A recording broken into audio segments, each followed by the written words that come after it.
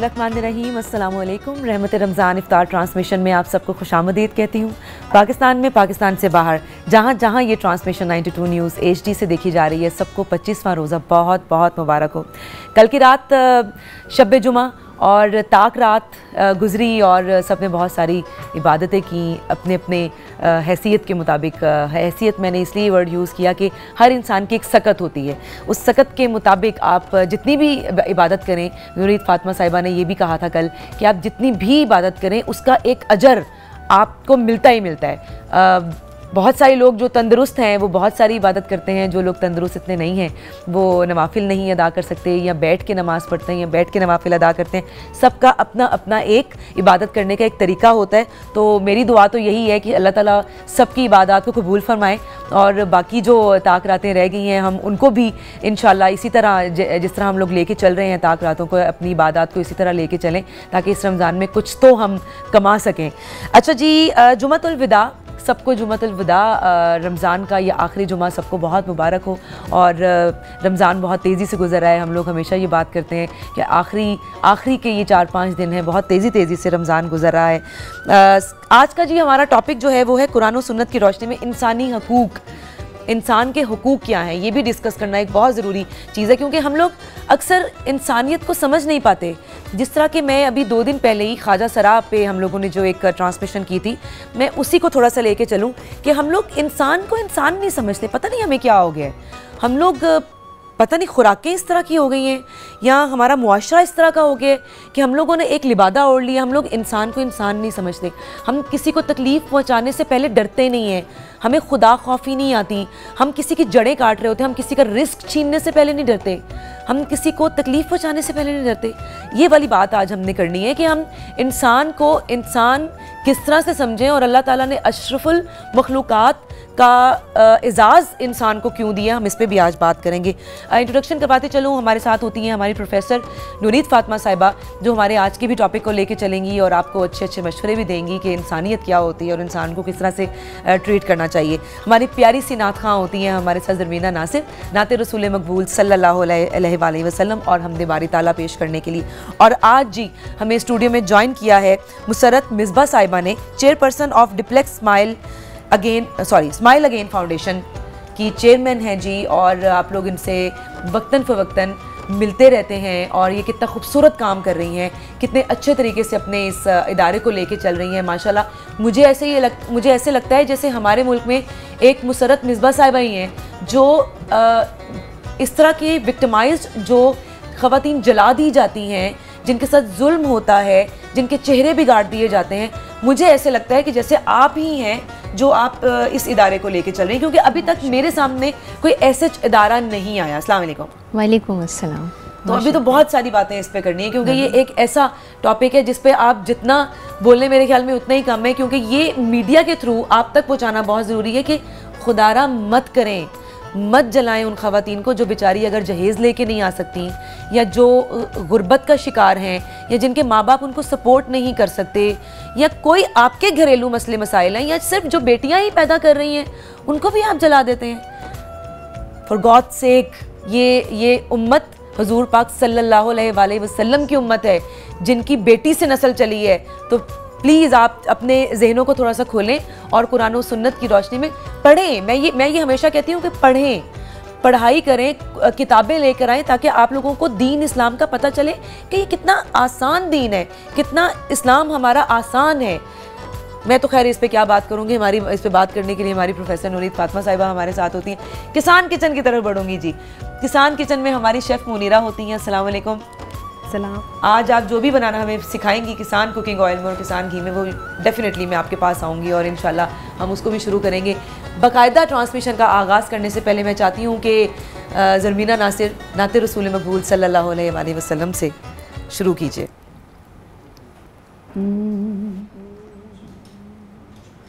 करम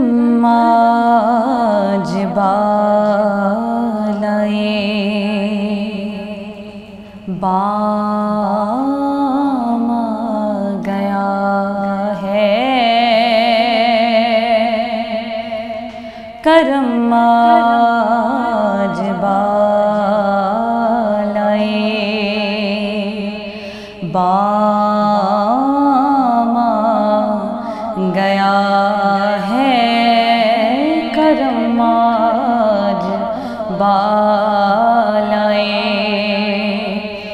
करम आज बालाए।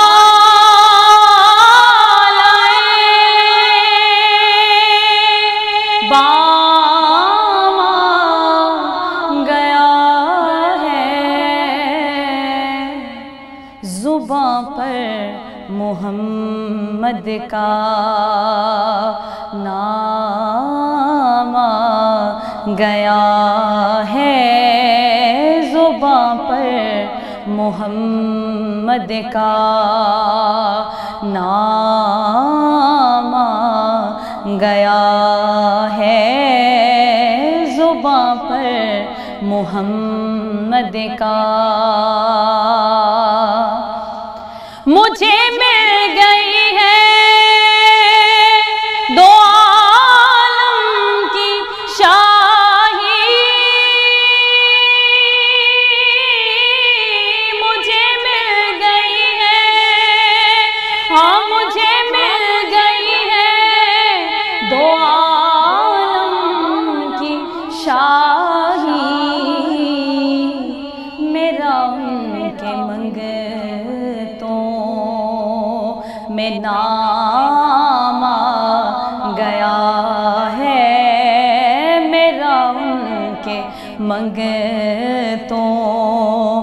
में नाम गया है जुबा पर मोहम्मद का। और जहाँ चिड़ गया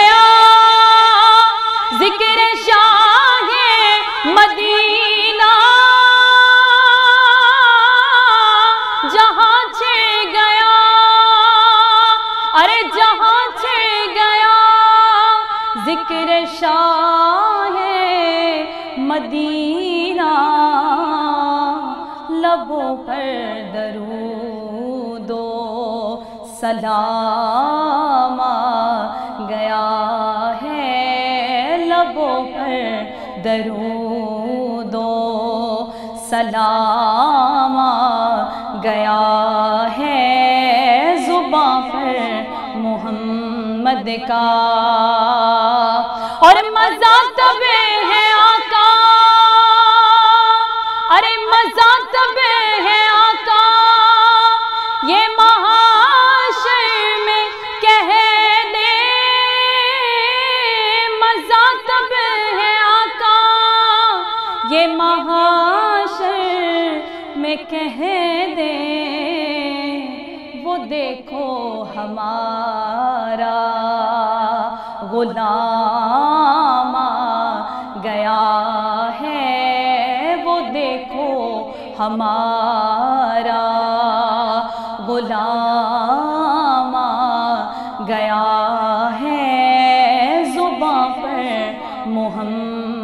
का नाम गया है जुबां पर मोहम्मद का।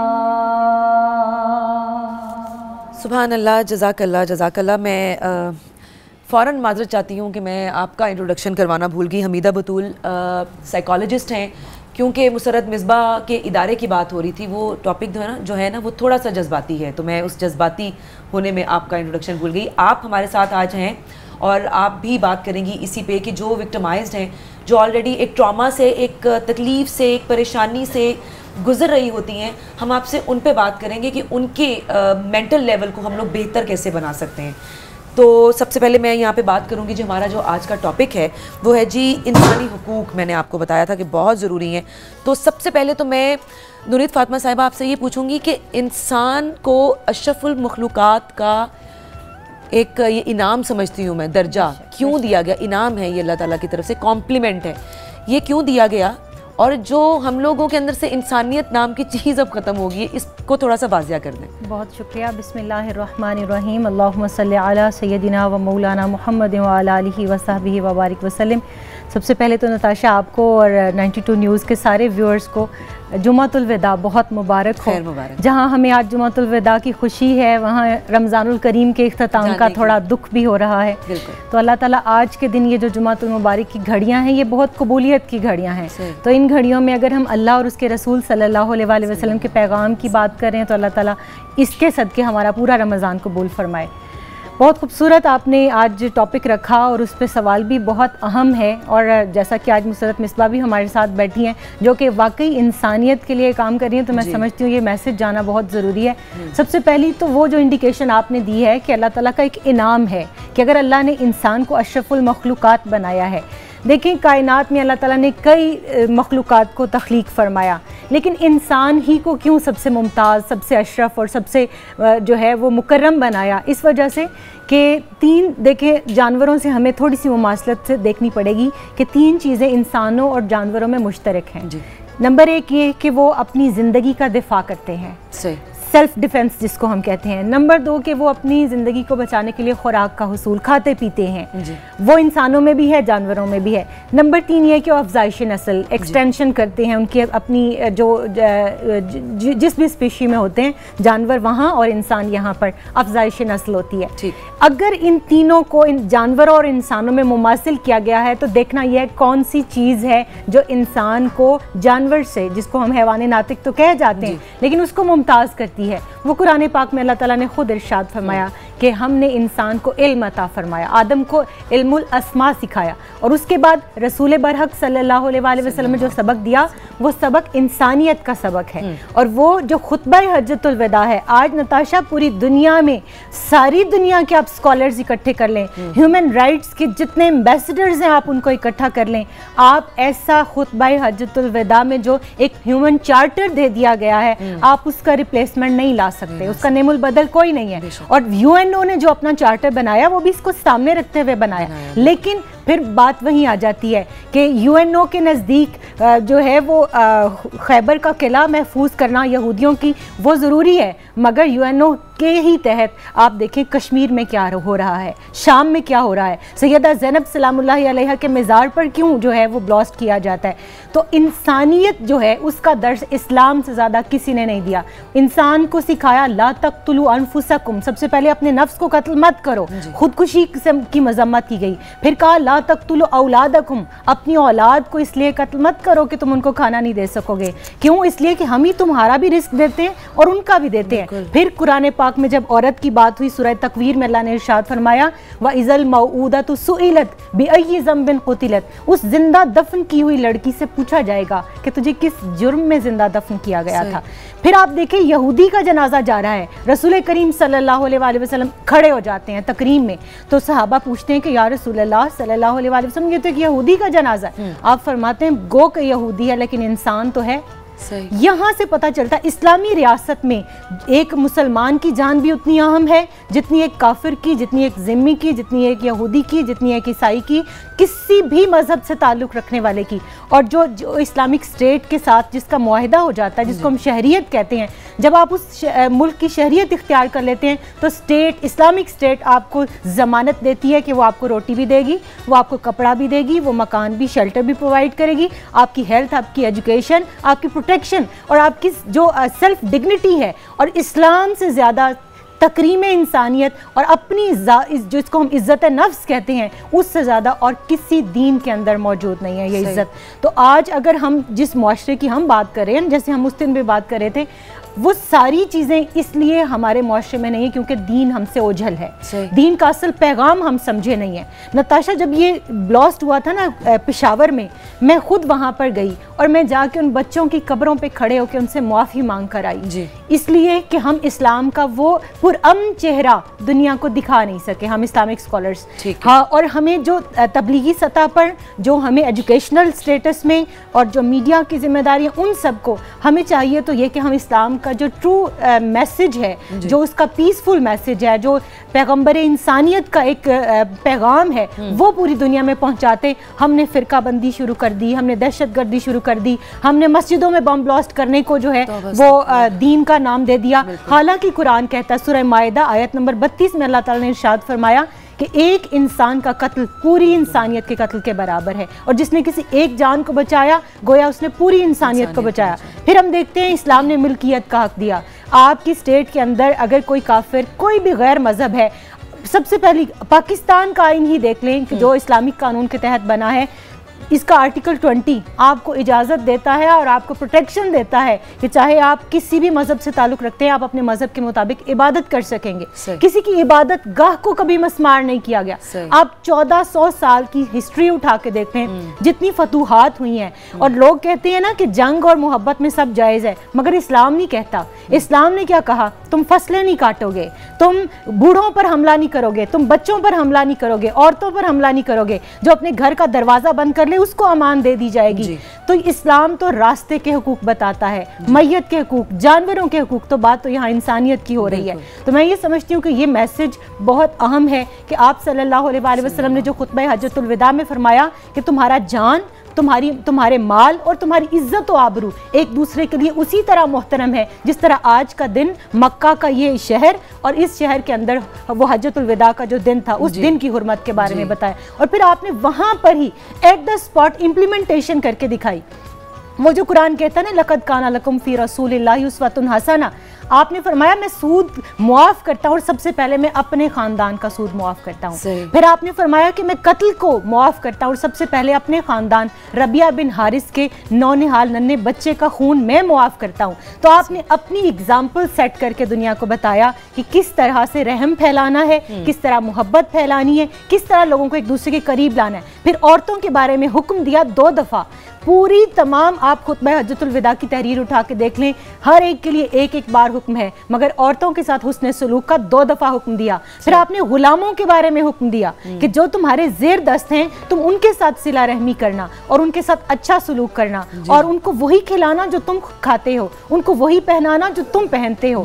तो अगर ये चीज़ें ये मैसेज ये सारी जो उसूल हैं ये जवाबित हैं ये हमारे सामने रहें तो हाउ इज़ इट पॉसिबल कि मैं तो के में बैठ के बर्गर खाऊं और मेरी मुलाजमा जो है वो बाहर जूतों पे बैठी हुई हो? ये मुमकिन नहीं है फिर। फिर ये होगा कि जो मैं अपने लिए पसंद करूँगी वो मैं अपने से पहले अपनी मुलाजिमा को दूँगी। बिल्कुल ठीक। और ये सारी वो चीज़ें हैं कि जो मैं समझती हूँ मसाजिद में हमारे मौजूद होने चाहिए तबलीगी मौजूद होने चाहिए ना ये कि उम्मत को लड़ाने के लिए इस तरह के मौजूद रखे जाएँ कि जी शलवार टखनों से कितनी ऊपर होनी चाहिए या कितनी नीचे होनी चाहिए। इतना कुछ इतना क्लियरली समझा के भी कुरान मजीद में भी ये इंसानियत का बताया गया है और हजूर पाक की अगर हम लोग सुन्नत अ, सुन्नत पे जाते हैं तो उसमें इतनी अहादीस हैं जो उन्होंने बयान की हैं कि इंसानियत क्या है।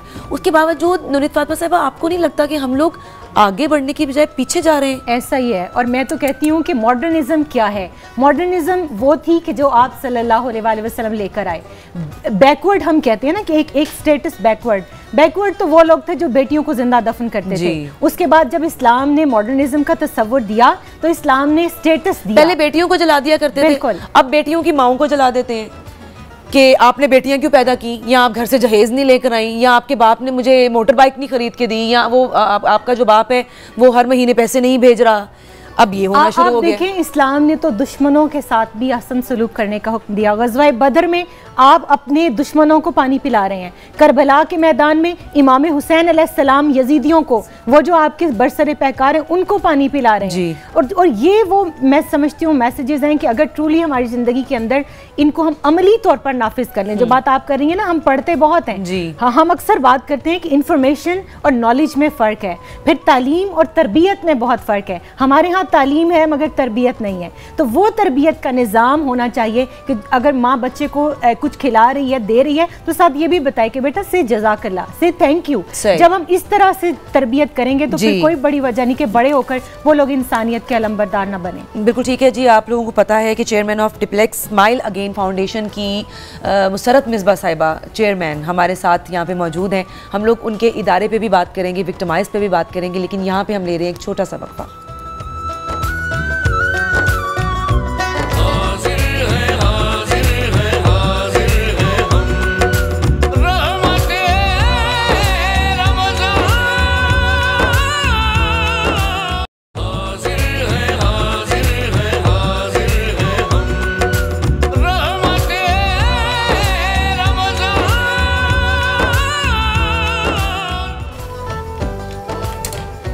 वेलकम बैक आप आ चुके हैं वापस रहमत रमज़ान इफ्तार ट्रांसमिशन में।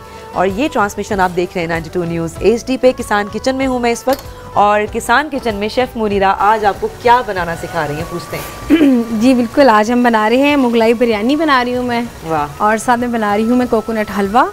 और साथ जो उसका कॉम्बिनेशन बना रही हूँ वैसे तो कि फरमाइश पे कि मुझे मुझसे आज किसी ने कहा। कितनी इतनी अच्छी अच्छी आप ड्रिंक सिखाती हैं ज़रा लस्सी भी तो बनानी सिखा अच्छा। दें। मैंने कहा लस्सी तो बहुत सिंपल है कहते नहीं उसकी भी कुछ होनी चाहिए टेक्निक हाँ। मैंने कहा चलें ठीक है आज हम लस्सी साथ बनाएँगे ठीक है। तो आज मैं मीठी लस्सी साथ बनाना बताऊँगी जी। और ये अब बन रही है इसकी जो ख़ास बात है मुगलाई इसकी डिश की हम्म। उसमें एक तो स्पाइसेस कम होते हैं और उस पर नट्स का इस्तेमाल ज़्यादा होता हम्म। है और उस पर नट्स की ही पेस्ट डलती है जैसे काजू पेस्ट बादाम पेस्ट या खोपरे पेस्ट वो उसमें डलेगी उसका बड़ा अच्छा एक फ्लेवर सा होगा और बहुत मज़े की डिश है और दूसरा जो कोकोनट हलवा है इसमें यह कि इसमें इसको मैं भूनूँगी सूजी को। और जब ये सूजी इस तरह से भून जाएगी उसके बाद इसका मैं चाशनी मैंने तैयार कर ली है। चाशनी को इसमें मिक्स करूँगी और जो खोपरा है तकरीबन दो कप इसमें खोपरा में ऐड करेंगे। जी। और इसको अच्छी तरह से यहाँ पकाएँगे। बहुत वाइट कलर में बहुत ज़बरदस्त ये हलवा बनेगा। अच्छा। और मीठे में एक एक ऑप्शनल सी डिश एक यूनिक सी डिश भी बन जाएगी। क्योंकि हलवे की बहुत सी डिशेज होती हैं तो आज मैंने कहा हलवे की ये बनाते हैं। और अगर इसी की आप कोकोनट बॉल्स बनाना चाहें तो इसी को आप हलवे को थोड़ा थिक रख लें और कोकोनट में इसको रोल करके आप इसको गोल गोल बॉल्स भी बना सकते हैं। अच्छा। क्योंकि कोकोनट रोल उसमें आप थोड़ा सा राइस का आटा है उसमें ऐड कर दें बस वो भी बहुत अच्छी एक आपकी ऑप्शनल डिश बन जाती है। तो ये आज हमारी दो जो डिशेज़ हैं वो हम साथ साथ साथ साथ में कर रही हूँ। अभी राय और हाँ दूसरी इसकी जो मेन चीज़ है वो चावलों की वैसे आमतौर पे हम जब चावल बनाते हैं तो हम उसको उबाल लेते हैं।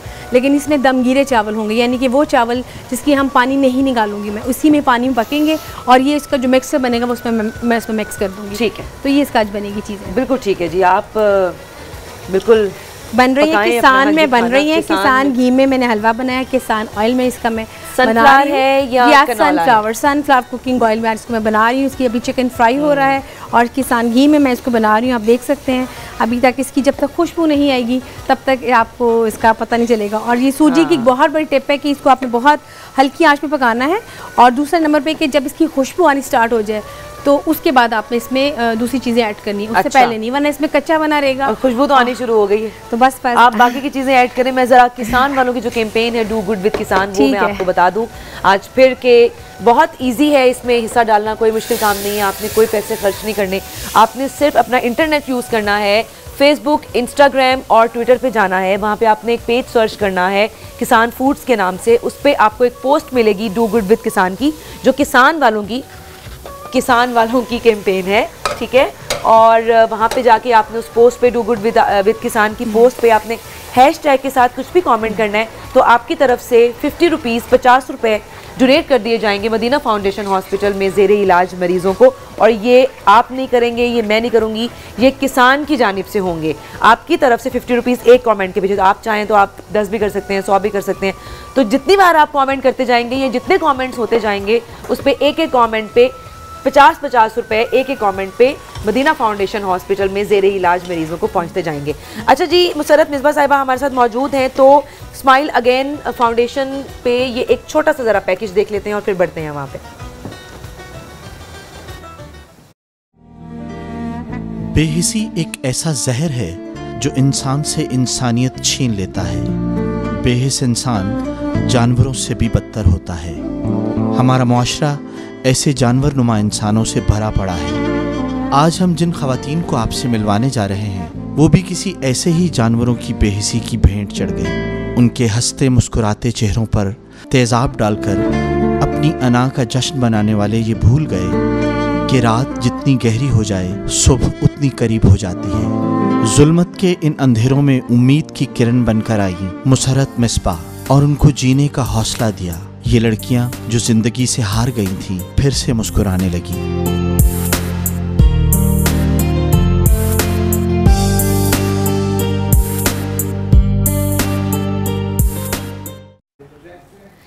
जी, आप लोगों ने देखा ये छोटा सा पैकेज मैं आपसे ये पूछना चाहती हूँ कि मैं भी आपको बहुत सालों से जानती हूँ डिप्लेक्स में आना जाना मतलब मेकअप्स भी हम लोगों ने बहुत सारे वहाँ से कराए। आपका तो खूबसूरत चेहरों को और खूबसूरत बनाना काम था। ये एक चेहरे को नया चेहरा देना और ये ख्याल कब जहन में आया? क्या चीज़ आपने ऐसी देखी या क्या सोचा कि आपने इस काम को अपना प्रोफेशन बनाने क्या सोचा? नताशा मुझे ऐसा लगता है ये अल्लाह ताला की तरफ़ से आपको हिदायत मिलती है। अच्छा। वरना ज़िंदगी तो मेरी वैसे गुजर गई थी। It's all about glamour it was all about beauty एक दाना सफ़ेद बाल यू नो झुरियाँ पड़ गई बुढ़ी हो रहे हैं, या तो ये तमाम चीज़ों में एक दिन अचानक दिस इज़ इन 2003 एक बच्ची जब मेरे पास आई और मैं बिल्कुल ऑफ़िस से निकल रही थी तो उसने आके मुझे कहा, आप मेरा, मुझे ठीक करें। तो मैंने कहा, मत, मुझे ज़रा, उसका अंदाज़ इतना जारहाना था। मैंने कहा, बेटे सॉरी मगर मैं जा रही हूँ अभी। उसने अपना नकाब उठाया और यकीन नहीं करें कि मैं खड़ी थी, मैं बैठ गई। क्योंकि मेरे सामने जो चेहरा था, उसमें एक आँख नहीं थी। उसमें नाक नहीं थी, उसकी गर्दन जुड़ी हुई थी। और वो मासूम बच्ची जो थी, उसने, उसको ये था कि मुझे मेकअप से शायद कुछ ठीक कर देंगी। उस दिन जब मैं, मेरी ज़िंदगी बदल गई, फिर मुझे कोई खूबसूरती कोई खूबसूरती का तस्वुर बदल गया। मैं उस दिन घर गई, मैंने अल्लाह ताला से गिड़ गिड़ा के माफ़ी मांगी कि अल्लाह ताला हम कैसी छोटी छोटी चीज़ों पे आपसे ना शिकायत करते हैं। और शुक्र भी बहुत अदा किया कि उसने इसके बावजूद भी हमें क्या कुछ नहीं नवाजा। बिल्कुल। तो उसके बाद फिर ये सिलसिला इस तरह से शुरू हुआ कि उस बच्ची की तो मदद करनी ज़ाहिर मैंने की डॉक्टर को बुलाया उनसे बात की। लेकिन मैं इसी तरह सोच रही थी कि चलो अल्लाह ने मुझे दिया है इतना कि मैं एक दो और बच्चियों की भी मदद कर लूँ। मैंने एक छोटा सा ऐड दे दिया न्यूज़पेपर में कि अगर आप तेज़ाब या मिट्टी के तेल से जली हुई आप इस दिन डेपलेक्स में आ जाइए। लो जी उस दिन तो मैं अपना सर पकड़ के बैठ गई क्योंकि उस दिन 42 लड़कियाँ आई थी। 42 लड़कियाँ जो कि या तो तेज़ाब से जलाई गई थी या ये और ये सब लाहौर शहर से आई थी या डिफरेंट नहीं मुख्तलिफ़ शहरों से आई थी अच्छा। क्योंकि अखबार किसी ने पढ़ा किसी ने बल्कि कुछ बच्चियाँ कराची से भी आ गई। अच्छा। उस दिन मैंने कहा या अल्लाह मुझे मैंने मतलब मेरी मेरी औकात दो तीन की थी कि मैं इलाज करा सकती हूँ। बयालीस बच्चियों का मैं कैसे कर सकूँगी? लेकिन बस फिर राह बनती चली गई। लोग आगे मेरे साथ आते गए। डॉक्टर्स कुछ बाहर से आने लग गए। कुछ हमारे अपने डॉक्टर्स जो थे वो हमारे साथ हो गए। लेकिन अब इस वक्त यानी कि मेरे पास 702 लड़कियाँ हैं। 702 लड़कियाँ वो जिनके ऊपर ये जुल्म हुआ है। उसमें एक्सीडेंटल भी होती हैं लेकिन बाद में जब उनकी बातें सुनो तो पता चलता है कि वो बेचारी किसी को छुपा रही हैं किसी की कोई यू नो उनको कवर कर रही हैं। उनको धक्का ही दिया गया था उनका उनको जलाया ही गया था। छोटी छोटी बच्चियाँ ऐसी भी हैं जो जी घर के किसी मेल के हाथों से कढ़ाई में गिर गई या मगर बाद में पता चलता है कि गिरी नहीं है वो कोई हादसा नहीं था बट मैं मेरा मेरा दिल अभी जब आपकी मैं बातें सुन रही थी तो इतनी जामे आपने बातें की हैं। आपने कितना खुल के बताया कि अल्लाह ताला ने अ, हमें कितना अच्छा बताया बच्चियों के बारे में सल्लल्लाहु अलैहि वसल्लम की हता- अ, आप हयात तय्यबा की तरफ़ गौर करें हर चीज़ सामने। लेकिन हुकूकुल इबाद मतलब इबादत के लिए तो अल्लाह ताला के पास बड़ी मखलूक हैं। सही।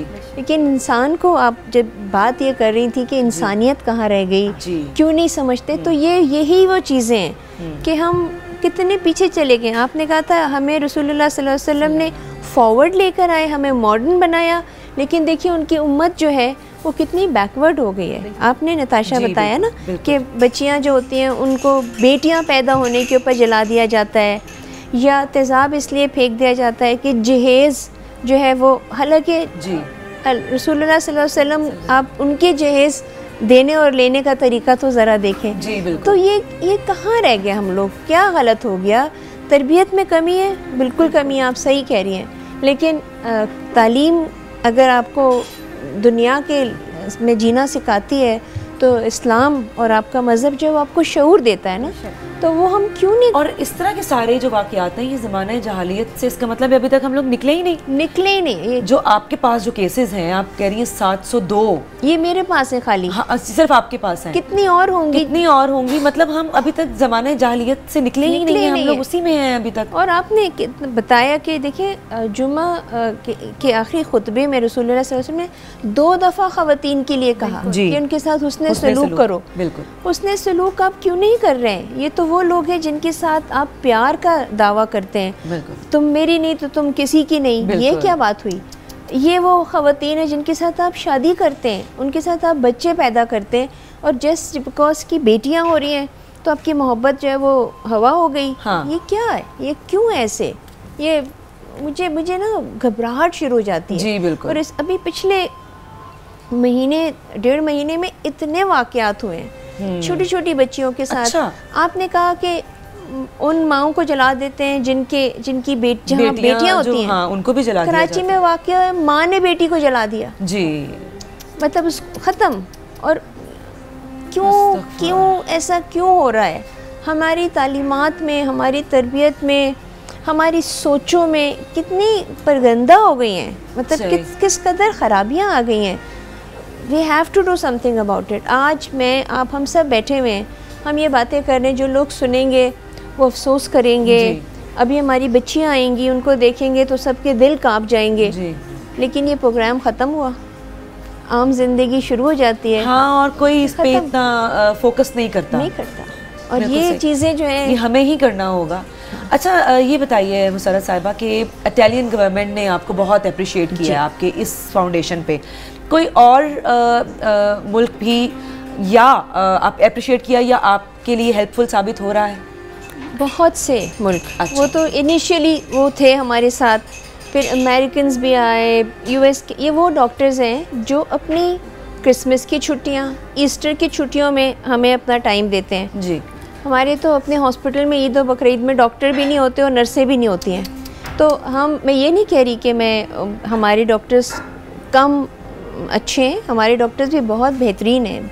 They do amazing work but unfortunately वो जज्बा जो मुसलमान में होना चाहिए, वो जज्बा कहीं और चला गया। मुझे ये लगता है, मुसरत साहिबा, कि जो अच्छे हमारे मुल्क के बहुत अच्छे डॉक्टर्स, बड़े ही लाइक फाइक वो अपने मुल्क में खिदमात अंजाम देने की बजाय दूसरे मुल्कों में जाके जॉब करते हैं। मुझे ये लगता है कि ये आप पाकिस्तानी अगर हैं तो आप अपने मुल्क के साथ ज़्यादती कर रहे हैं। आपने आप अगर पढ़े लिखे हैं आप अगर डॉक्टर बने हैं तो खुदारा अपने मुल्क के लिए रखें अपनी इस चीज़ को और ख़िदमात अंजाम दें अपने मुल्क के लिए। हम लोग अच्छे डॉक्टर से महरूम हो जाते हैं क्योंकि हमारे ही अच्छे मुल्क के अच्छे डॉक्टर जो हमारे मुल्क के हैं वो दूसरे मुल्कों में जाके जॉब वहाँ पे उनके बहुत ज़्यादा यू नो एक मुकाम होता है क्योंकि दे सो गुड उनका काम अच्छा होता है बेहतरीन होता है।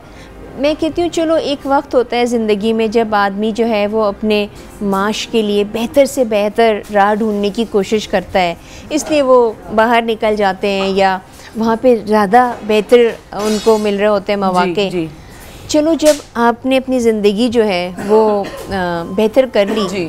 और आप जब पाकिस्तान आते हैं छुट्टियों में शादियों में याद आई आपको पाकिस्तान की? हाँ कुछ अरसे के लिए। तो फिर आप कम अज़ कम उसी अरसे में एक बच्ची का ऑपरेशन करते हैं। हाँ सिर्फ़ अच्छा एक दें हाँ कुछ मतलब जब आप जाएँ तो आप अच्छी याद लेके जाएँ कि मैंने अपने मुल्क और अपनी बच्चियों के लिए कोई चीज़ बेहतर सोचा है। हम अम, नहीं होता उनके पास टाइम सही. आपके पास जो विक्टिमाइज हैं जो ख़वातीन उसमें लड़कियाँ भी हैं आपने बताया बच्चियाँ भी हैं आप उनके चेहरों को बेहतर करने के लिए आप आपके पास डॉक्टर्स हैं या आपका किसी हॉस्पिटल से कोई कॉन्ट्रैक्ट है या क्या स्किन स्पेशलिस्ट क्या? हम क्योंकि हर शहर में ये वाक़यात हो रहे हैं जी। और ये नहीं समझें कि कोई दूर उफ्तादा गाँव में होते हैं। ठीक है। ये तो अ, बहुत ज़्यादा शहरों में भी होते हैं गाँव में भी होते हैं। तो जब ये होते हैं वाक़यात तो जो करीब तरीन हॉस्पिटल है जी। हम उनको ही सबसे पहले कांटेक्ट करते हैं कि हम जो है इन बच्चियों का ऑपरेशन करवाना चाहते हैं। जी। अगर बेहतर हॉस्पिटल की फैसिलिटी चाहिए तो हम सी एम एच हॉस्पिटल के साथ पूरे पाकिस्तान में फिर हम अ, कराची में डिफरेंट हॉस्पिटल्स हैं लाहौर में हमारे अमेजिंग सर्जन हैं। डॉक्टर मौज़म तार डॉक्टर फरीद हैं। यहाँ पे उनके लिए फैसिलिटीज़ हैं। जी। ये सारी चीज़ें चल रही होती हैं लेकिन सबसे इंपॉर्टेंट चीज़ मेरे लिए ये होती है कि जैसे ही इनके ऑपरेशन हो गए इनकी आँख खुल गई इनकी गर्दन घूमने लग गई इनके हाथ जुड़े हुए थे वो खुल गए तो इनको कुछ हुनर सिखा कुछ हुनर सिखा बिल्कुल। अच्छा जी मैं चाहूँगी कि यहाँ पे जो मुतासरा ख़वातीन हवा की वो बेटियाँ जिनका कोई कसूर नहीं था और उन्हें जला दिया गया उनका उनका चेहरा बिगाड़ दिया गया। मैं चाहूँगी कि मैं ख़ुद उनसे बात करूँ। जी अस्सलाम। नाम बता दीजिए अपना। मेरा नाम बुशरा है। जी बुशरा कैसी हैं आप? ठीक ठाक हैं? अल्लाह का शुक्र है। आ, कितना बेहतर हुआ है आपका चेहरा पहले से और आपके चेहरे की पहले कंडीशन क्या थी? थोड़ा सा ज़रा हमें हमसे शेयर कीजिए। मिश्रा इसको ऊपर माइक थोड़ा सा नज़दीक कर लीजिए। जी। जी मेरा चेहरा बस ऐसे देख लिए जैसे एक गोशत का लोथरा होता है। मेरा बिल्कुल मस हो गया था। अ, फिर मेरे काफ़ी ऑपरेशन हुए। उसके बाद फिर मेरा बाजी मसरत निस्बा से मेरी मुलाकात हुई और उसके बाद अल्लाह का शुक्र है अब मैं बहुत बेहतर हूँ। इन्होंने बहुत से मेरे ऑपरेशन इन्होंने भी बहुत से करवाए हैं। मिश्रा अच्छा जी मैं बिल्कुल इनकी कहानी भी पूछूँगी इनसे। क्या है और बिल्कुल कंटिन्यू करती हैं but will take a short break here please stay with us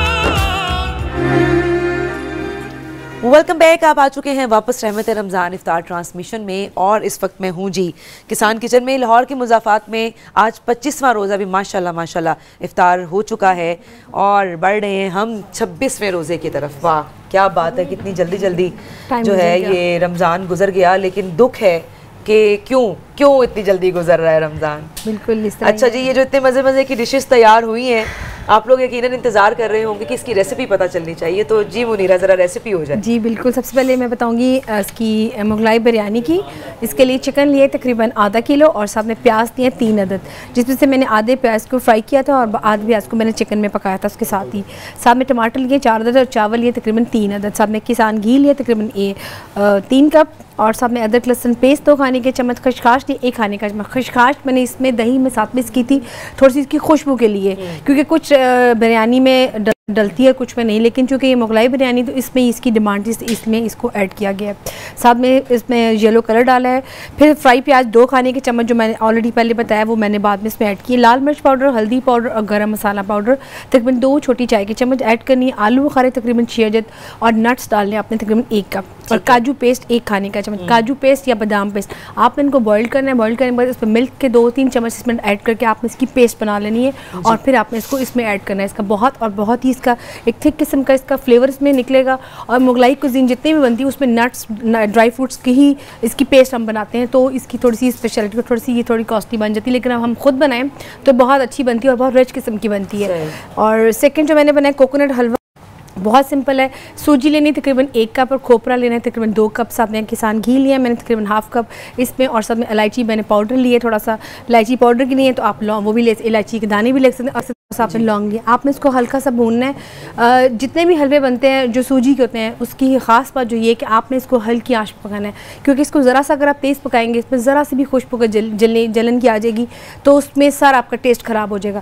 तो उसकी उसकी खुशबू ही खुद ही निकलती है जब आप इसको हल्का सा भूनते हैं। तो आपने इसको भूनना है जब आप देखेंगे बिल्कुल हलवा पक गया आप इसकी चाशनी तकरीबन दो कप इसके पानी होंगे आधा कप से चीनी होगा। आपने इसकी चाशनी बनानी है और इसमें पहले करना है। उसके बाद आप इसे पानी ऐड करके आप देख सकते हैं बिल्कुल सॉफ्ट और बिल्कुल इसकी इसकी शक्ल भी ऐसी कि इसके आप उसके बॉल्स भी बनाना चाहते तो वो भी बन सकते बन हैं। सकते और आप इसके बना के इसके अंदर आप खोपरे की भी इसकी कोटिंग कर सकते हैं तो बहुत आपके मीट बॉल इसके कोकोनट बॉल्स भी बहुत अच्छे बन सकते हैं। तो दूसरी जो मैंने थर्ड जो बनाई है लस्सी उसके लिए एक किलो अगर दही है और साथ में मैंने इस पर दो तकरीबन हाफ़ कप मैंने मिल्क ऐड की है साथ में तकरीबन हाफ़ कप मैंने इसमें चीनी ऐड की है। है।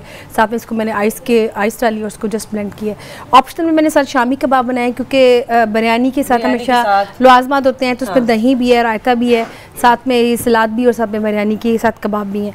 तो एक। कंप्लीट एक तो ये एक डिफरेंट आपने लस्सी आज बनाई है। जो बनाई। अमूमन घरों में बनती हैं लस्सियाँ। हाँ जी वो तो बहुत ज़्यादा पानी और दही हाँ। की या उसमें पानी तो नहीं खैर मिक्स होता मेरे ख्याल में। दही में बांधते हैं जब घरों में बनाते अच्छा, हैं। अच्छा। लेकिन जब हम बाज़ार से पीने जाते हैं तो वो हमें हमें होता है वो वो वाली चीज़ घर क्यों नहीं बन पाती है? हाँ। तो मैंने बेसिकली उस स्टाइल से आज ये बनाई कि बहुत थिक जिसको कहते हैं अदरक का जैसे नरीद ने आ रखेगा। रिड़- रिड़क- वाली जो लस्सी होती है ना वो असल लस्सी होती है बिल्कुल। तो इसको उस टेक्निक से बनाया गया है कि आप इसमें पानी कम डालें और दही को इसको जितना करेंगे ना उसकी उतनी थिक फॉर्म बनेगी तो बहुत मज़े की बनेगी। आप इसका तकरीबन अफ्तारी के बाद अगर आप इसको हाफ़ कप भी पी लें तो मेरा ख्याल है कि आपकी जो सारा दिन की आपकी जो प्यास होती है वो भी आपकी काफ़ी उसकी कमी हाँ हो है। दूध और दही से तो वैसे डिहाइड्रेशन बिल्कुल। खत्म हो जाती है काफ़ी हद तक और इसके साथ अच्छा। साथ एक और चीज़ जो मैं बताना भूल गई कि आप जैसे कि आज हमारा पच्चीस रोज़े की इफ्तारी मैंने करवाई है तो पिछले हमने कई अच्छी अच्छी इफ्तारियाँ करवाई हैं और कई मुझसे पूछते भी हैं तो मैं बता अफ्तारी दूँ। हैं बिल्कुल किसान किचन में बिल्कुल।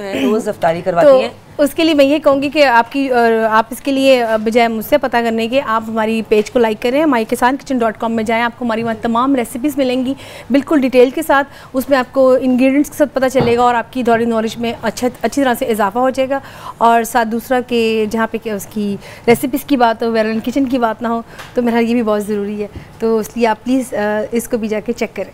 चेक करें जाके। चेक करें। ठीक है। बिल्कुल ठीक है जी। यहाँ पे चलेंगे। यहाँ पे लेते हैं एक छोटा सा ब्रेक कराची के मुजाफात में अजान मगरब का वक्त हुआ चाहता है। Will take a short break here stay with us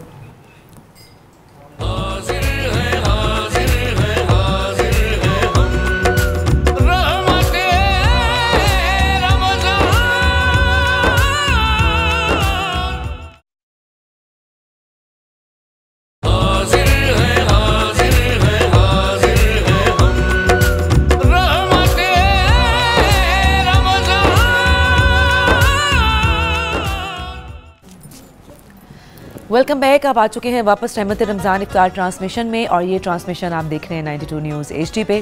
पूरे पाकिस्तान में 25वां रोज़ा इफ्तार हो चुका है बढ़ रहे हम 26वें रोज़े की तरफ़। और मेरे साथ जी बुशरा आप बात कर रही थी जब हम ब्रेक पे चले गए थे। आप अपनी बात को कंटिन्यू कीजिए। क्या हुआ आपके साथ? आप अपनी रुदात खुद सुनाइए। मेरे साथ ऐसा हुआ कि मेरे ससुराल वालों ने अ, मुझे जला दिया सिर्फ़ जहेज़ ना लाने की वजह से। उन्होंने कहा वो जब भी बोलते थे कहते थे कभी किसी चीज़ पे डिमांड करते थे कभी किसी पे। और मैं अक्सर ही अपने माँ बाप के पास जाती थी उनको बताती थी और वो दे देते थे। लेकिन आहिस्ता आहिस्ता फिर ऐसा हुआ कि मेरे वालिद भी उनकी भी डेथ हो गई और वालदा की भी डेथ हो गई। और दोनों ही ना रहे तो फिर मैंने मुझे वो कहते थे ला के दो। तो मैंने कहा अब मेरे भाइयों के पास नहीं है।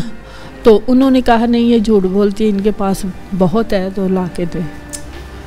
नेक्स्ट टाइम उन्होंने फिर ऐसा किया कि पचास हज़ार की मेरे से डिमांड की कि पचास हज़ार ला के दो। चाहती हूँ मैं चाहूँगी कि थोड़ा अ, स्पीकर का वॉल्यूम बढ़ा दें प्लीज़ ताकि हम तक बात पहुँच जाए। जी प्लीज़ थैंक यू जी कंटिन्यू कीजिए तो- आप। पचास हज़ार मुझसे मांग रहे थे फिर मैंने कहा उनके पास नहीं है। और वाकई मेरे भाइयों के पास इतना नहीं था। कमाते मैं तो मजदूरी करते थे बस गुजारा ही हो रहा था। अच्छा। तो उन्होंने कहा ये झूठ बोलती है। तो उन्होंने मेरा फेस जला दिया और कहा कि ये अगर तो इसके माँ बाप ने इसका इलाज करवा दिया तो हम कहेंगे कि ये झूठ बोलती है। अगर नहीं करवाया तो हम कहेंगे कि नहीं ये सच है। बस अच्छा। इसी तरह फिर उन्होंने मेरा चेहरा तीन लोगों ने मिलके जलाया। एक मेरा मामू ससुर था एक मेरा हस्बैंड था और एक मेरी सास थी। इन तीनों ने मुझे बाँध के मेरे फेस पे लगा दिया। आपकी आपकी जबान हाँ जी को मेरी तेजाब से जलाया गया था? हाँ जी मेरी ज़ुबान मैंने जब उनसे इनकार किया तो उन्होंने मुझे ना मेरी ज़ुबान बाहर निकाल के ये देखिए। खींच के इसके ऊपर भी डाला। जब मैंने थूका तो फिर उन्होंने और ज़्यादा मुझ मुझ पे जुल्म किए। और जब तक मैं चीख चखी चीखी उसके बाद मैं बेहोश हो गई। फिर उन्होंने मेरे अ, गले अ, में फंदा बना के मेरे ही दुपट्टे का ऊपर लटका दिया और घर को आग लगा दी जिसमें मेरे तीन दो बच्चे थे। एक बड़ी बच्ची जो मेरे से ज़रा बड़ी थी जो समझदार थी या कुछ बता सकती थी उसको उन्होंने पास ही नहीं लाए। जो छोटे थे एक मेरा बेटा साल का था और एक बेटी मेरी डेढ़ को साल की थी जो मेरे कमरे में ही थे। ये कितने कितने साल पुरानी बात है? ये सन पचानवे का वाक्य है। जी? सन पचानवे का। पचा अच्छा 95 ठीक है। अच्छा सही है। और उसके बाद आप फिर मुसरत मिसबा तक कैसे पहुँची? और आपका चेहरा अब तो बहुत बेहतर है। जैसा कि ये बता रही हैं कि गोश्त का एक लोथड़ा था जलने के बाद और अब आपकी माशाल्लाह आँखें नाक होंठ प्रोमिनेंट हैं। बिल्कुल। कितनी सर्जरीज हुई हैं आपकी? मेरी 150 सर्जरियाँ हो चुकी हैं। और अभी तकरीबन तीन चार माह बाद तीन चार माह पहले मेरे नोज़ का ऑपरेशन हुआ है। अच्छा। और अभी भी ये इसके भी एक दो अभी होने हैं। ठीक है। और हो रही हैं। और बज मसरत मिसबा का मुझे ऐसे पता चला कि मेरे पास कुछ भी नहीं था। आज से तकरीबन दस पंद्रह साल पहले की बात है। तो मेरे पास कुछ भी नहीं रहा था कि मैं एक कमरे में बंद होकर रह गई थी। ना तो इलाज के लिए पैसा था और ना ही कुछ था। तो अखबार में एक ऐड आया था कि मसरत मिसबा जो हैं वो जले हुआ का फ्री इलाज करती करवाती हैं, हाँ, फ्री इलाज करवाती हैं। तो मैंने वो ऐड ही देखा अखबार में और इनसे फ़ोन भी था इनसे मैंने रबता किया तो बाजी अल्हम्दुलिल्लाह अल्लाह पाक इनको से तंदरुस्ती दे और ज़िंदगी दे। इन्होंने मुझे पाँव पे खड़ा कर दिया। और मैं इनके पास आई तो फ़ोन पे रबता किया तो इन्होंने फ़ौर ही मुझे बुला लिया और मैं डर रही थी जब इनके ऑफर्स आई तो दिल ही दिल में मैं बड़ा डर रही थी कि पता नहीं इतनी बड़ी औरत है मुझे बुलाए कि ना बुलाए। लेकिन जैसा बाजी ने सुना कि बुशरा आई है इन्होंने खुद उठ के अपने ऑफ़िस से बाहर आई और मुझे अपने गले लगाया। हालाँकि जब मुझे बाजी ने गले लगाया था माशाल्लाह। उस वक्त मेरी हालत वो थी कि कोई मुझे देखना पसंद नहीं करना, बात करना पसंद नहीं करता था। और बाजी की इसी मोहब्बत ने प्यार ने मुझे इतना कर दिया कि मेरे सारे डर खौफ ख़त्म हो गए। फिर इन्होंने मेरी बहुत सारी सर्जरियाँ करवाई और फिर खुशी की बात यह है कि मुसरत मिसबा साहिबा के लिए प्लीज़ तालियाँ बजाएँ, क्योंकि इंसानियत के लिए जो ये काम कर रही हैं, ये अल्लाह ताला वाकई ही किसी किसी को तौफीक अता करते हैं। फिर इन्होंने मुझे ब्यूटिशन का पूरा कोर्स सिखाया और अब अल्हम्दुलिल्लाह मैं ब्यूटिशन हूँ और हर काम मुझे आता है। और मैं बाजी के ही पास पार्लर में मुझे कहीं काम करने की ज़रूरत नहीं है। मैं बाजी के माशाल्लाह इतने ही हमारे पार्लर हैं। हम किसी भी ब्रांच में बाजी हम लोगों को भेज देती है और हम। करके आते हैं। जहाँ कोई ना जाए तैयार हूँ जहाँ बाजी कहे बेटा खड़ा होना है। मैं कहा बाजी मैं हाज़िर हूँ। जी बिल्कुल। और अल्हम्दुलिल्लाह मैनी पैडी फेशियल हर चीज़ मुझे ठीक है जी उनके साथ हैं जी फरा फरा मैं आपसे जानना चाहूँगी कि आपकी क्या स्टोरी है क्या हुआ था किसने जुल्म किया आपके साथ? थोड़ा सा शेयर कीजिएगा प्लीज़ हमारे साथ। मुझे पता है बहुत तकलीफ़ वाली बात है बड़े दुख की बात है। मैं इस पर माजर चाहती हूँ, लेकिन हमारे देखने वालों के लिए आपकी आवाज़ पहुँचनी बहुत ज़रूरी है ताकि लोगों में अवेयरनेस आए।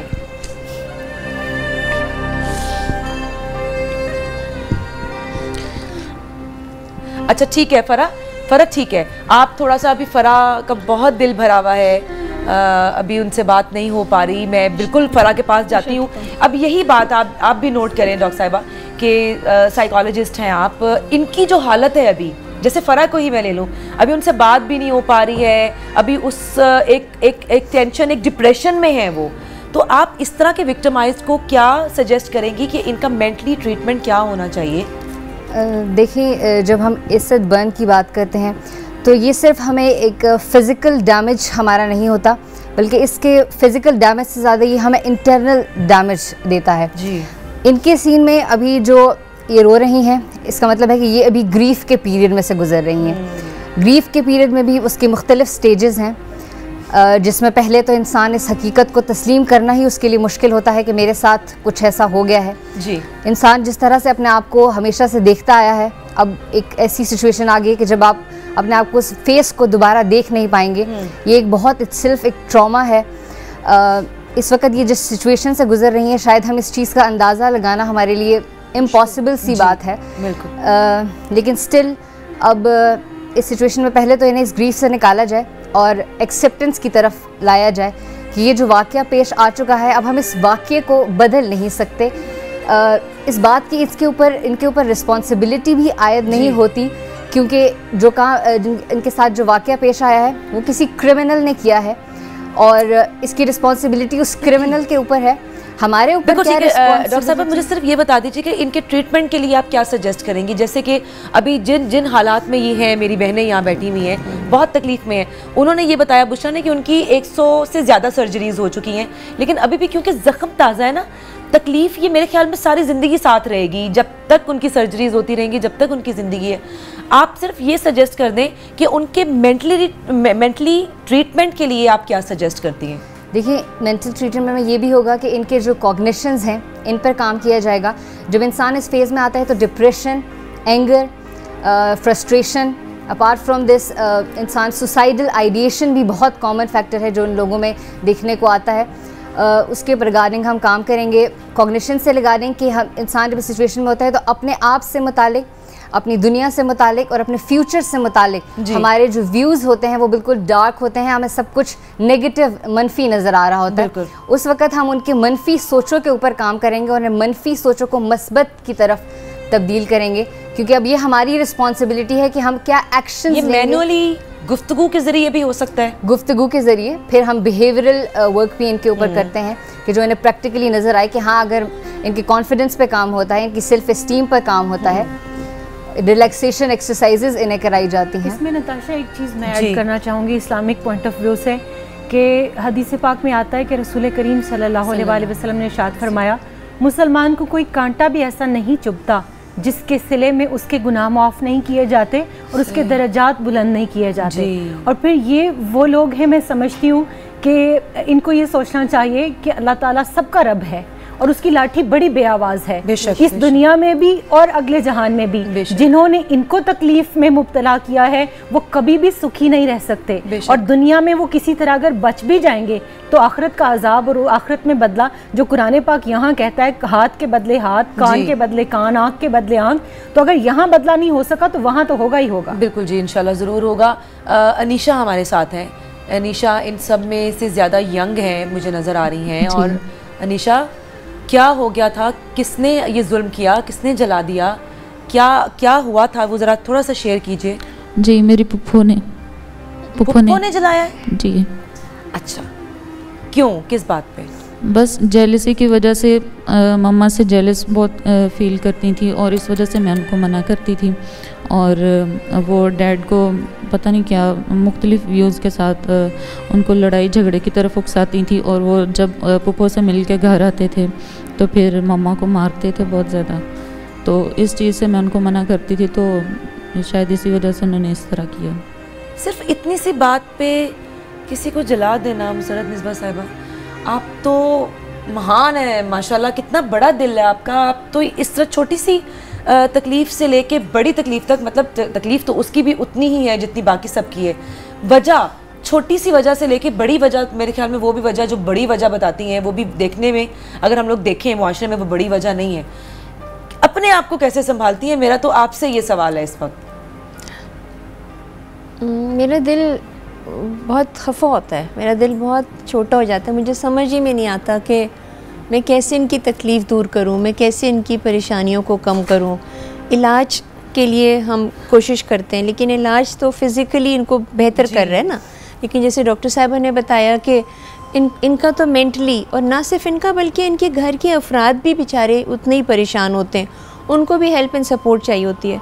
जनरली मैं क्या करती हूँ कि जैसे भी ये बच्चियाँ हम लोग बैठते हैं एक दूसरे के साथ गपशप करते हैं थोड़ी सी खुशी सही लेकिन उस थोड़े टाइम में इनके चेहरे पे मुस्कुराहटें आती हैं। जो बुशरा हैं आज मतलब मेकअप कर कर आई हैं। हाँ। और मेकअप करते हुए इन्होंने मतलब फिर दो तीन दफ़ा मुझसे पूछा कि मैं अच्छी लग रही हूँ। अच्छा। तो ये दिन इनका अच्छा शुरू हो जाता है। ये दिस हेल्प्स देम बिल्कुल।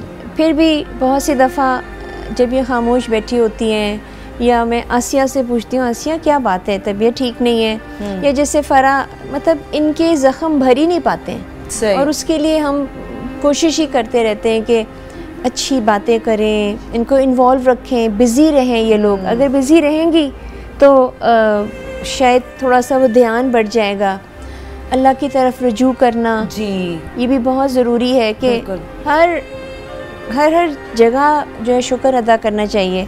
ये बच्चियाँ भी अल्लाह का बेनतहा शुक्र अदा करती हैं और हमारे तो मुँह ही खुश्क हो जाएँ कि हम जितना हम उसका शुक्र अदा कर सकते हैं उतना ही कम है। आसिया बीबी अस्सलाम वालेकुम वालेकुम अस्सलाम। आसिया बीबी थोड़ा सा ज़रा हमारे साथ शेयर करेंगी कि क्या हुआ था किसने जलाया और किस बात पे? मेरा शोहर के साथ झगड़ा था। वो दूसरी शादी करना चाहते थे। अच्छा।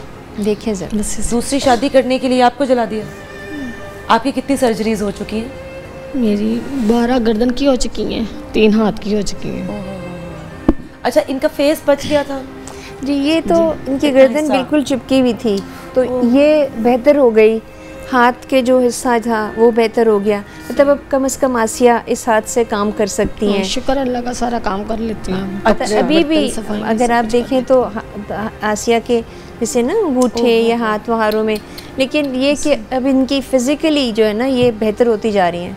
लेकिन ये कितनी दुख की बात है कि आप जो हैं शादी करने के बाद अगर आपने दूसरी शादी करनी है तो आप आप कर लें। छोड़ दें कर लें। आप हाँ। मगर जलाएँ तो ना। जलाएँ ये तो। क्यों ये जुल्म क्यों कर रहे हैं? और मतलब ये कितने दिनों से सफ़र कर रही है? कितनी परेशानी कितनी इसने तकलीफ़ें उठाई हैं?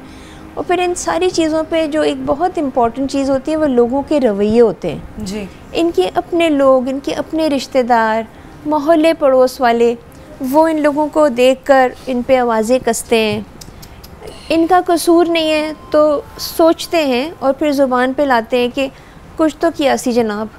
मतलब उनको उन्होंने पहले से ही इस बात पे वो कर देते हैं कि ये इनका ही कसूर होगा। मैं, इस कहती हूँ हर दफ़ा जी। मैं कहती हूँ हर सही है कसूर भी था। जी। लेकिन ये, ये उनका हक तो नहीं दिया अल्लाह था। ने। हाँ ये हक नहीं है ये हक तो नहीं दिया। अच्छा जी फरा आप अ, थोड़ा सा ज़रा शेयर करेंगी हमारे साथ? जी ज़रूर। अस्सलाम वालेकुम। वालेकुम अस्सलाम। मेरा नाम फरा है जी। और पिछले रमज़ान में मुझे जलाया था। अच्छा। किसने जलाया था और किस बात नंद और सास ने ना। क्योंकि मेरे मियाँ बाहर है और मेरी शादी को उन्नीस साल हो गए। अच्छा। और वो तब से बाहर है। ठीक। तो अब था कि बच्चे बड़े और ये मेरा बेटा है। ये आपका बेटा है? जी। अच्छा। कि मैं बाहर मियाँ के पास जाना था। तो वो बस उन्होंने कहा कि नहीं हमने तुम्हें नहीं भेजना। तो बस इसी वजह से। कितने बच्चे हैं आपके? चार। चार बच्चे हैं। जी। और आपके मियाँ ने इस बात पे कोई एक्शन नहीं लिया? नहीं मियाँ ने लिया। वो मैंने लगा वो किया था ना केस करवाया। नंद पे सास पे। तो वो जब बाहर से आए हैं तो कहा है कि तुम झूठी हो ये नहीं झूठे। तुम्हारी कोई गलती थी इस वजह से। तो साल हो गया ना खुद आए है ना कोई बच्चों का पता किया ना कुछ। ये जो मेरे में अभी हिम्मत आई है ये सिर्फ़ मैडम सूरत मिसबा की तरफ़ से आई है बस। नहीं तो मैं तो ऐसे थे ऐसे से आसमान से नीचे गिर गई। जी। और तो- अभी जी अब आप बात करें। तो मेरा तो बस ये है कि अल्लाह मियाँ इतना ज़्यादा इनको दे अल्लाह मियाँ इनको तंदुरुस्ती दे। आमीन। और अल्लाह मियाँ इनकी हर खुशियाँ और ज़्यादा इनको दे। इनके गम दूर करे। इन्होंने हम जैसों पे हाथ रखा है। नहीं तो आजकल तो अपने भी छोड़ गए। बिल्कुल। फरा हिम्मत रखें, आपको देखकर बाकी भी हिम्मत रखेंगे। जैसे बुशरा हैं, बुशरा की इतनी सारी सर्जरीज हुई हैं, बल्कि बुशरा, मैं आपको भी यही कहना चाहती हूँ कि आप भी, आप तो रोल मॉडल बन जाएँ इन सब के लिए। जितनी भी आपकी आपके जो साथ हैं, जितनी विक्टिमाइज्ड हैं आप जैसे जो हैं वो सब आप सब रोल मॉडल बन जाएँ। सबको सहारा दिया करें सबको हिम्मत दिया करें कि देखो मैं भी तो हूँ। इस साथ दू- दूसरों को देख के भी अ, देखने से भी थोड़ा अ, वो होता है तसल्ली मिलती है और आपको अपने अंदर एक बहुत सुकून मिलेगा। जब आप दूसरों को तसल्ली दे रही होंगी तो। माइक ले लीजिए। बिल्कुल मैं ऐसा ही करती हूँ। नेक्स्ट टाइम अगर कोई भी नई बच्ची आती है जली हुई आती है तो मैं उसको लैदगी में बाजी मुझे कहती है बेटा इसके पास थोड़ा सा वक्त गुजारा। तो मैं उसको लैदगी में फिर अपनी बात बताती हूँ देखो आप उस जगह पे आ गई हैं जहाँ पे हर चीज़ का ख्याल रखा जाएगा और आप बहुत ही अच्छी जगह आ गई हैं। आपकी हर परेशानी दूर हो जाएगी और देखो मुझे मैं अपनी बात बताती हूँ कि मैं एक कोने में बैठी हुई थी बैठी रहती थी मुझे कोई नहीं पूछता था। तो मैं उस वक्त सिर्फ़ अल्लाह से मदद मांगती थी। तो अल्लाह पाक ने मुझे बाजी मुसरत मिसबा से मिला अल्लाह ताला वसीले बनाते हैं ना? उन्होंने अल्लाह ताला ने ही वसीला बनाया बिल्कुल ये फरिश्ता है हमारे लिए यहाँ ये फरिश्ता है कि इन्होंने हमें ऐसे उंगली पकड़ी है कि माँ जैसे वो छिले में बच्चा को माँ पकड़ती है। और मेरी ये माँ ही है। मैं इनको हमेशा अपनी माँ माँ ही कहती हूँ और जो बात मैं किसी से नहीं कहती वो मैं बाजी से कहती अनीशा मैं आपसे माइक ज़रा पास कर दीजिएगा। अनीशा आ, आपके घर वाले आपके साथ हैं? जी बिल्कुल। अच्छा और आप अब आजकल क्या कर रही हैं? और सर्जरीज आपकी कितनी हुई हैं? मेरी पाँच। पाँच सर्जरीज हो गई हैं। और अभी और कितनी सजेस्टेड हैं? अभी ये डिपेंड करता है मैम पे और डॉक्टर्स पे। अच्छा ठीक है मतलब जितनी जल्दी अगर ठीक हो गया तो वो सर्जरीज कम होती जाएँगी या इंशाल्लाह। बट लेकिन जी। इस अभी जैसे बहुत सारे कॉन्ट्रैक्टर्स हैं ना सख्ती हैं हम्म। उनको एक एक करके ऐसे नहीं हो सकता कि एक साथ एक साथ सब कुछ ठीक हो हाँ, जाए। एक ऑपरेशन भी होता है तो फिर आपको चार पाँच महीने लगते हैं। गुड पंद्रह से बीस सर्जरी अभी इसको और चाहिए। सही सही पंद्रह से बीस सर्जरीज आपको भी और चाहिए। जी। तो अभी आप बिल्कुल दुखी ना हो बिल्कुल परेशान ना हो। आप बाकी सबको देख के या अपने से नीचे देख कर तसली आती है। जो आपसे भी ज़्यादा जली हुई हैं या जो आपसे ज़्यादा तकलीफ़ में हैं आप उनको देख के तसली खुद अल्लाह ताला से दुआ किया करें कि अल्लाह ताला मुझे सब्र और तसली दें। जी। बेशक। और क्या करना चाहती हैं आप आने वाले वक्त में? आपकी एज इतनी नहीं है आपने क्या सोचा है? क्या करना चाहती हैं? मैं ब्यूटिशन का कोर्स कर रही थी डिप्लेक्स में लेकिन अ, मेरी सर्जरी हुई। हम्म। तो उसके बाद काफ़ी मुझे वीकनेस हो गई तो फिर मैंने छोड़ दिया। अच्छा। लेकिन अब दोबारा मैं स्टार्ट करूँगी रमज़ान के बाद। जी। बिल्कुल ठीक है। डॉक्टर साहिबा क्या कहना चाहेंगी इन सब के लिए? अब आपने इनकी मेंटल स्टेट तो स्टेटमेंट तो देख ही ली है सुन भी ली है। आप इनके लिए क्या कहना चाहेंगी? देखिए हम ट्वेंटी फ़र्स्ट सेंचुरी में रहने के बावजूद टेक्नोलॉजी में इतनी एडवांसमेंट आ गई है हमारे पास हर किस्म की फैसिलिटी मौजूद है लेकिन स्टिल हम जिस मैंटेलिटी के साथ जी रहे हैं ये बेसिकली स्कैरसिटी मैंटेलिटी है जिसमें हमें लग रहा होता है कि सब चीज़ों की कमी है। हमें मुझे कुछ जीतना है तो मुझे किसी को हरा के जीतना है। अगर अ, मुझे कुछ चीज़ चाहिए तो यानी कि किसी को पीछे करके मैं ही आगे होऊँगा।